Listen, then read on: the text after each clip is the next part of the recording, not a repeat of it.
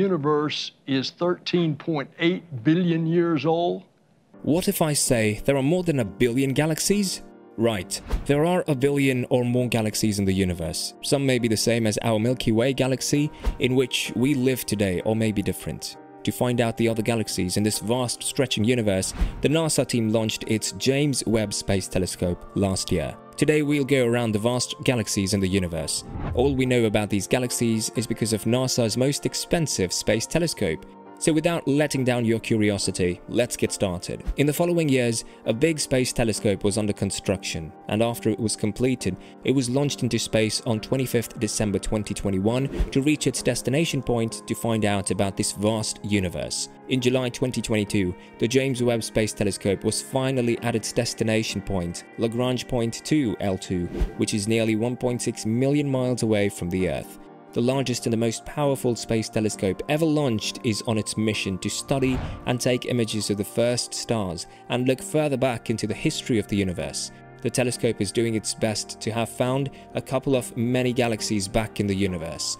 In just a couple of days after the megatelescope started delivering data, the astronomers reported unexpected exciting new discoveries about the galaxies, stars, exoplanets and even Jupiter. In a few days after its launch, the web published a public image in which a lot of maybe more than a thousand galaxies were seen in a very small area of the sky.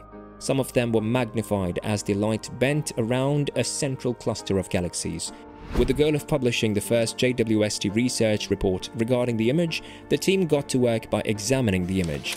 Pascal, an astrophysicist at the University of California, Berkeley, said, We worked carelessly. It was like an escape room. One of Webb's most special features is that it has the ability to look back into time and can see the early universe and some of the first stars and galaxies. More reportedly, Webb has found the most distant and the earliest galaxy ever known, with very far distance that Webb observed 300 million years after the Big Bang. A recently discovered galaxy called GLASS Z13 has taken a title of the earliest galaxy ever discovered. When two teams independently examined JWST images for the GLASS survey, one of more than 200 science programs planned for the telescope's first year in space, they discovered the galaxy. Both teams, one led by Rohan Naidu at the Harvard Smithsonian Center for Astrophysics in Massachusetts, and the other by Marco Castellano at the Astronomical Observatory of Rome, found two particularly distant galaxies in the data. One that Webb detects the light, it emitted 400 million years after the Big Bang, tying the galaxy seen by the Hubble Space Telescope as the oldest ever, and the other dubbed GLASS Z13 seen as it appeared. Both the found galaxies look extremely small. If we compare them with our Milky Way, both are more than 100 times smaller.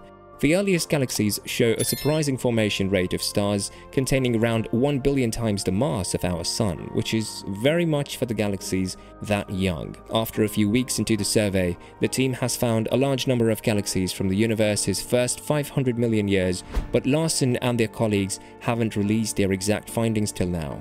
It's better than I imagined. It's only the beginning, she said. A wide number of early galaxies were hidden in the cluster image of the galaxies called SMACS 0723. One distant galaxy in the image, a speck of light that appeared 700 million years after the Big Bang, was examined more closely by the telescope. Webb's spectrograph found heavy elements in the galaxy, including oxygen, now, scientists are hoping the telescope will find an absence of heavy elements in even earlier galaxies. We're looking for galaxies where we see no heavy elements, said Andy Bunker, an astrophysicist at the University of Oxford. That might be a smoking gun for the first generation of stars formed from primordial hydrogen and helium. Theoretically, they should exist. It depends whether they're bright enough. After discovering many of these amazing galaxies, the furthest star named Earendel, after a figure in J.R.R. Tolkien's Lord of the Rings prequel, the Silmarillion, caught Webb's attention next. A deep field photograph from the Hubble Space Telescope has improved visibility of the star's light, which took nearly 12.9 billion years to reach Earth. In addition, Webb discovered the Cartwheel, a wheel-shaped galaxy with unparalleled structural detail. Webb discovered individual stars within the galaxy's star-forming regions, as well as discovered more young star clusters encircling the galaxy's supermassive black hole using infrared radiation. Infrared lights, which can see through that dust, can best see these zones because they are densely covered in it.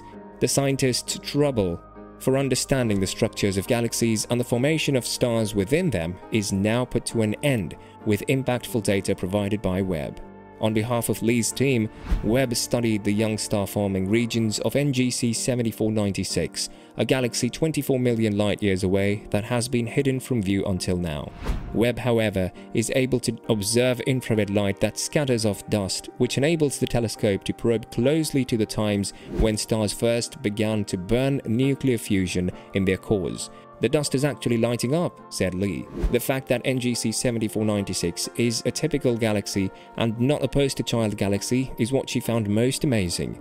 It suddenly comes to life though and displays channels where stars are developing when Webb is watching over it. She said, it's really wonderful. Taking a look within our galaxy, Webb's attention is more towards our exoplanet Jupiter. The telescope is expected to reveal hot Jupiter exoplanet atmospheres with molten rain which hurls vaporized rock or crystals from great heights. On Earth, a lot of these minerals are jewels, Tiffany Kataria, who is an exoplanetary scientist at NASA's Jet Propulsion Laboratory said. A geologist would study them as rocks on Earth, but they can form clouds on exoplanets. That's pretty wild. Imagining a planet with raining metals and minerals, yeah, that's Jupiter in our solar system.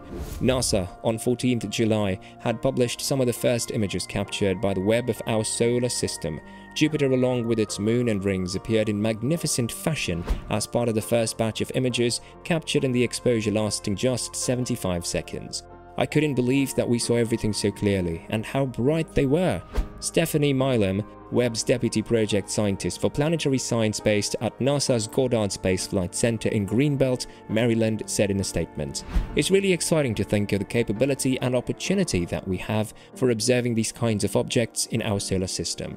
Astronomers are pretty sure that the upper atmosphere of Jupiter is thousands of degrees hotter as compared to its lower temperature. With the help of Webb's 75 seconds exposure to the planet, they could see the upper atmosphere of Jupiter shining burning red. It appears as a red ring around the planet.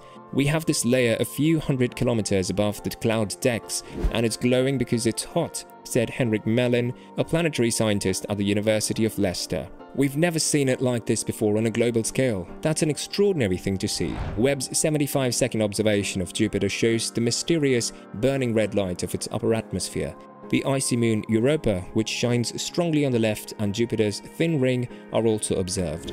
The planet's bottom border has a faint atmospheric disturbance that is brought on by a collision with the lava-filled moon.